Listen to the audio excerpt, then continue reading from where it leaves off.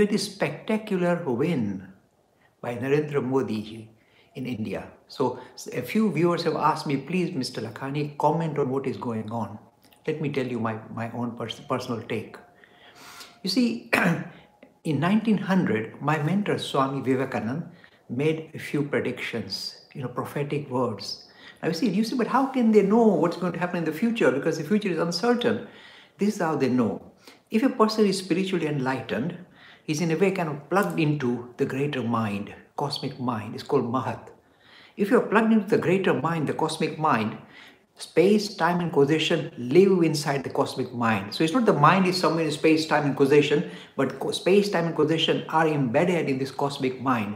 So for them, idea of seeing what will happen in the future or what has happened in the past is easy peasy. They can do it. You say, how can they can? Because they are plugged into the system where space, time, and causation are in fact ingredients. So it's not this mind that goes around in space, time. It is it's space and time are embedded in this cosmic mind, and that is how they kind of acquire knowledge regarding what is possible. And there are a few other cases, instances where Swami Vivekananda had made certain predictions which came true. I just touch on two or three that he made, he talked about as prophetic vision in 1900. First of all, he used to be in Europe, he used to travel, give lectures in Europe and UK. He noticed one thing. He said, these European nations are sitting on a time bomb. It's just a matter of time before they implode. And you'll have a major bloodbath in Europe very shortly because these people are so hungry for power and you know controlling other nations and so on they're going to fight amongst themselves and create bloodbath in europe this was the prediction in 1900 and we know this came true because in no time we had two world wars and millions of people were massacred just why because somebody wanted to extend their empire and fight against another empire so we saw this prediction come true like that second prediction he made which was very interesting is that he said Within 50 years, India will gain independence. But then he qualified his statement saying, in an unusual manner. So I was wondering, what does this mean? Exactly, as you know, in within 50 years, India you know, achieved freedom, independence, but it was with a kind of a caveat. In a way, we were still clones of the British Empire. So that is why, can you call it real independence? This is the second, uh, second prediction he made. The third prediction he made made me feel that perhaps he's got it wrong.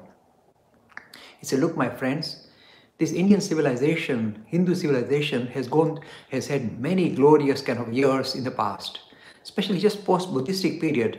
India and Hinduism were really flourishing. Universities, everything was kind of dynamic in India. And any visitor passing through India would say, I don't know how to describe this nation. Nobody lies. They don't know how to lie. So what a wonderful state of affairs. It was a golden period. And Swami Vivekananda said something very interesting. He said, you think that was the glorious period of Hindu tradition? I'm telling you, my friends, watch out.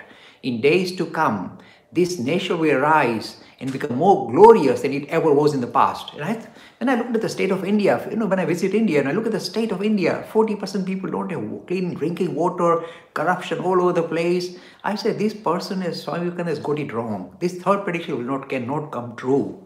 That was my take on it. And I was just sitting on the sideline watching. I said, this prediction cannot come true, surely. India cannot be more glorious than it was in the past. It's in a mess. But then, you see, I see, if you like, the stirring up of the nation itself. The nation is now prepared to spit out the unwelcome kind of intrusion that the secular lobby had imposed on it, saying, you must follow our style. It's called secularism. India, the, the nation has never been secular, means worldly it has always been out of this world. It's always looking for, you know, kind of more idealistic approach to life, not worldly objectives. Something that is kind of more spiritually oriented rather than secularly oriented. This is a nation for thousands of years. That's why it survived as a single civilization over such a long period.